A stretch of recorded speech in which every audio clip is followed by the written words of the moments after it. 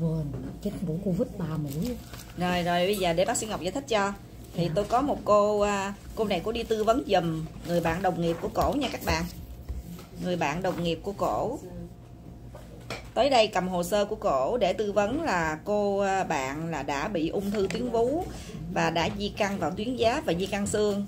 Thì hiện giờ á xương của cổ đã di căn nhiều nơi nè xương sọ cũng có nè xương đốt sống cũng có nè Ờ, và còn hai vị trí nữa, di căn xương và tuyến giáp. Cái bướu thì tôi không có được biết cái kích thước cái bướu và đây là để mà đánh giá giai đoạn, nhưng mà nếu đã có di căn xương thì chắc chắn đã là di căn xa là giai đoạn 4 rồi. Thì đây là hai kết quả sinh thiết ở bệnh viện ung bướu Cần Thơ làm cho cổ. Cái sinh thiết, cái bướu vú của cổ, cái tờ đầu tiên là cái tờ này á, là ra ung thư rồi. Và cái tờ hóa mô miễn dịch là cái tờ này là nói lên là cái ung thư vú của cổ á là ờ, không có cần phải hóa mô, không có cần là phải làm cái sinh học phân tử, truyền cái sinh học phân tử. Bởi vì cái ợt tu nu âm tính nè, cái ợt tu nu âm tính là không có cần sinh học phân tử nè, cái này nó rất là mắc tiền. Mà mà nói chung là cũng may mắn là mình âm tính ha. Rồi hai cái này là mình có được thêm cái liệu pháp nội tiết nữa. Rồi, KI 67 10% thì nói chung là cái độ tái phát lại thôi. Nhưng mà bây giờ cô đã để cô tới giai đoạn 4 rồi, di căn xương nhiều nơi là giai đoạn 4 rồi. Thì cái giai đoạn này không có mổ giai đoạn này lúc này là sẽ vô hóa chất trước. Rồi, vô hóa chất rồi một thời gian. Rồi mới cân nhắc tới cái chuyện mổ.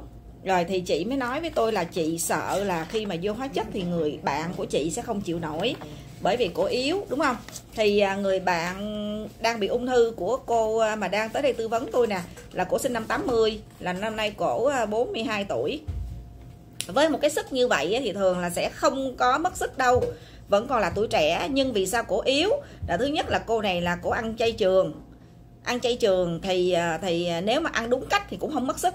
Ăn chay trường mình vẫn ăn nấm, mình vẫn ăn đậu là mình vẫn có chất đạm. Rồi cái thứ hai, tại sao cổ mất sức là cổ đau đó các bạn? Di căn vô xương rồi, di căn vô cột sống, rồi rồi sụp cái cột sống, rồi chèn vô cái đĩa đệm là cổ đi không được. Được có di căn xương nhiều nơi thành thử cổ yếu. Cổ cảm nhận là cổ mất sức thôi cho nên thực chất á, là tôi thấy với cái độ tuổi này mà tiếp nhận vô hóa chất á, là không có gì đáng lo lắng cả. Nhưng mà chị yên tâm như thế này bệnh viện nào cũng vậy chuẩn bị vô hóa chất cho bệnh nhân á thì người ta sẽ trước khi vô hóa chất ta phải xét nghiệm hết. Từ công thức máu cho đến chức năng gan thận rồi kiểm tra tim kiểm tra phổi là tốt hết thì mới bắt đầu vô toa đầu tiên. Vô toa đầu tiên xong coi đáp ứng rồi người ta cũng làm một loạt lại cái xét nghiệm lại như cũ. Để người ta coi là à, gan thận hay là máu có bị ảnh hưởng gì không? Nếu chưa bị ảnh hưởng thì người ta mới vô tiếp toa thứ hai. Rồi sau đó thì cứ mỗi lần vô một toa là đều xét nghiệm lại. Cho nên là khi nào mà thật sự có tình trạng suy gan suy thận nặng hoặc là thiếu máu nặng tức là cái tế bào máu nó bị hủy hoại do hóa chất á, nặng mà không thể tiếp nhận thêm thì sẽ ngưng lại. Chứ chị đừng có lo là chị cứ người bạn người quen của chị cứ bị vô hóa chất hoài. Không? Nhưng mà bắt buộc phải truyền là để làm chi? Để những cái nốt mà tổn thương trong gan á, trong cái xương á, nó mới tiêu được. Thì khi vậy mới hết đau. Chứ còn bây giờ mình không tiếp nhận điều trị thì à, thì những cái tổn thương trong trong cuộc sống không thể hết được luôn. Cái gì chị? Ít quang ngực thẳng cái này phiếu đóng tiền à? Đâu có thấy hình gì đâu. À ý chị là mới hôm kia nhập viện ừ thì như vậy. Đúng rồi. Thì cô mới cho bác sĩ Ngọc coi một cái phiếu mà cô này cô bị nhiều vấn đề lắm. Thứ nhất là viêm gan nè suy thận mãn tính nè hạ gluco máu nè bất thường nhịp tim rồi viêm phổi quá trời nhiều ha.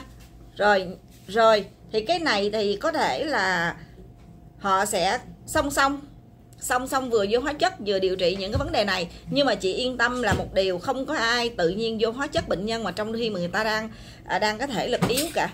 Nếu thể lực yếu mà trên hình ảnh đều cảm thấy là không thuận lợi cho vô hóa chất thì sẽ tập trung điều trị cái thể lực của trước. Nha.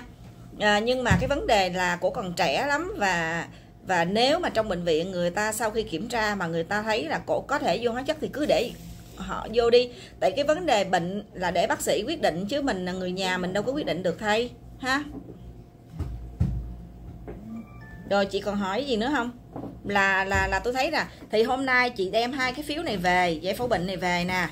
Với hóa mô miễn dịch thì bệnh viện họ sẽ tiến hành điều trị, mà trước khi họ điều trị vô hóa chất cho bạn của chị á, là người ta sẽ phải xét nghiệm đầy đủ hết.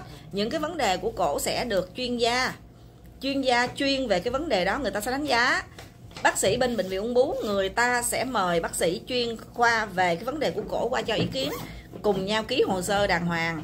Mình là người ngoài mình không có chuyên khoa ngay cả bác sĩ ngọc. À, thấy của vấn đề đó mình cũng cũng không thể nào mà mà mà mà mà khuyên là từ chối hay tiếp nhận được. Mà là cái người chuyên khoa cái chuyên gia về vấn đề tim vấn đề gan à, vấn đề bệnh lý máu vấn đề về nội tiết là người quyết định ha chị còn gì chị hỏi bác sĩ ngọc chị hỏi đi. Cái, này giống như mẹ em nó bị trong thời gian nếu mà coi kết quả nó tốt rồi đó. Thì lúc mà để ta lên cái, cái phương pháp điều trị thì cái Ừ. tốn kém nó mắc không? Cổ có bảo hiểm đúng không? Có. Bảo hiểm thì không có lo không có mắc. Tại vì cổ không có cái ợt tu nu dương tính. Cái ợt tu nu dương tính cái ợt tu nu cái này là cái này nè. Cái này thì thôi là khó là là mắc lắm. Mà mà mà mà cổ không bị. Hóa môn miễn dịch nè cái này nè cái ợt tu nu này nè. Cái này mà ba cộng một cái là có bảo hiểm là cũng phải năm sáu trăm triệu. Mà giờ cổ không có là không nghĩ tới chuyện đó rồi. Còn vô hóa chất á thì một toa vô bệnh viện ung bướu á thì à, mỗi một toa vô á thì tôi thấy là ờ, đóng khoảng 2 3 triệu bảo hiểm thôi. Dạ. Vậy hiểu không? Dạ. Ừ, không không có mắc tại vì cổ có bảo hiểm mà. Dạ. Còn nếu như không có bảo hiểm thì khoảng chừng 8 triệu 10 triệu một Là toa. một toa. Mà trường hợp cổ chắc phải vô vô 8 toa tám toa là Ừ. trong một tháng á cũng 8 toa là 3 tuần toa đó ừ. ừ. ừ. là khoảng 8 triệu ừ là không không có mắc gì cả thôi tập trung cho cổ điều trị đi sợ là sợ cái ợt tu nu nó dương tính á. dạ dạ chứ còn cái hóa chất kia nó không mắc nhưng mà còn cái vấn đề vô xương nữa Ừ. cái vấn đề xương cổ thì có thể người ta sẽ kết hợp thêm cái liệu pháp miễn dịch chẳng hạn thì nhưng mà đừng có lo có bảo hiểm thanh toán cái mắc nhất là cái ợt tu nu á Ừ. là hàng trăm triệu á, thì mình không có bị mình không có bị phải vô thuốc đó em, Nha. em còn trẻ. Ừ. Thì quan trọng cái tinh thần em nó phải lạc quan lên. Ừ. Thì cái phương pháp điều trị trên thuốc á là một phần nào thôi. Cái quan trọng cái tinh thần em hết em cô mà tôi thấy cô đó có vẻ cô suy sụp á đúng không? Chị cho tôi coi là cô thấy cô suy sụp á. Thì à, cô có biết cái kênh bác sĩ ngọc không? Không có gì? Không có cho cô máy nằm ở trong phòng chăm sóc đặc biệt đó ờ. Không có được cầm máy. Thì thôi bây giờ người nhà mình động viên thôi chứ còn ờ, động viên à, cho cổ em đồng nghiệp em còn thấy sốt không? Ừ. Rồi vậy ha. Dạ em cảm ơn Ừ, bác sĩ ừ. nhiều nha. Em cảm ơn nhiều